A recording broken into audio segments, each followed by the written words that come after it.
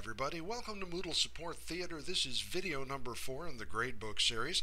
We are looking at Moodle 2.5 at Humboldt State University, and our method is simple weighted. This is the most popular at HSU.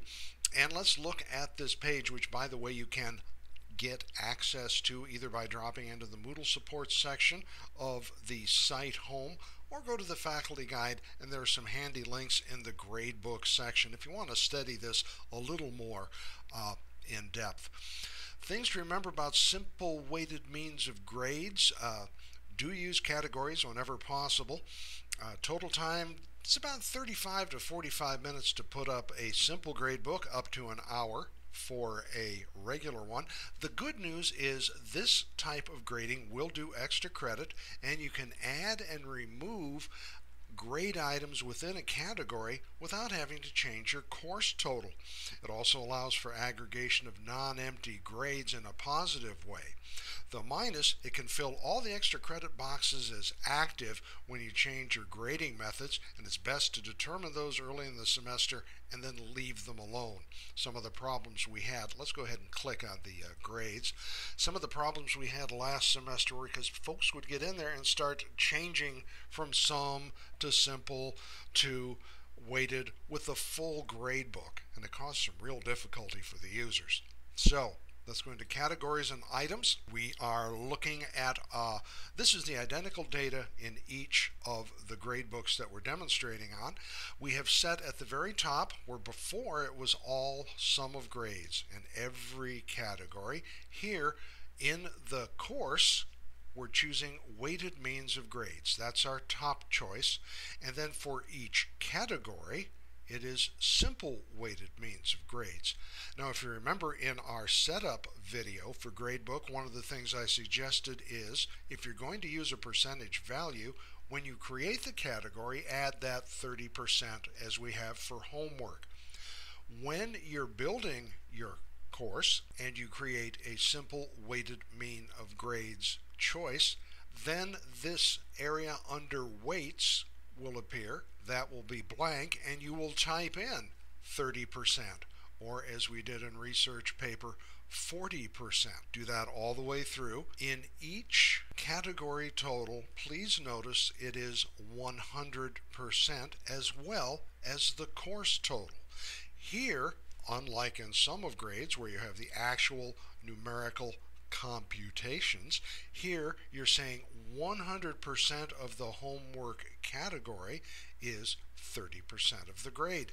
That allows you to add homework assignment 4, 5, and 6 without having to do a lot of recalculations because everything within the borders of the homework category will be worth 30%.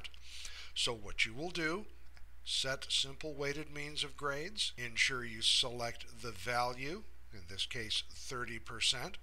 And when faced with putting in a total, you may have to change it by highlighting your category total and make sure it says 100.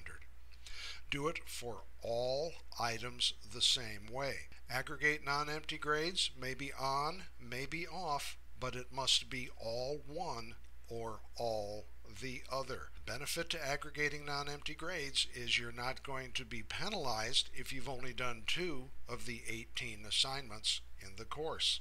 You will not get a low grade and have panicked students. Okay, I think that is about it for simple weighted means of grades. You can, I get a question, could I change my category total? Let's go to participation and attendance.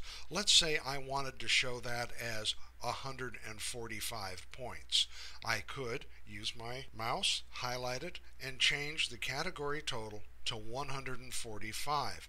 But then I would have to do that for every category total on the page.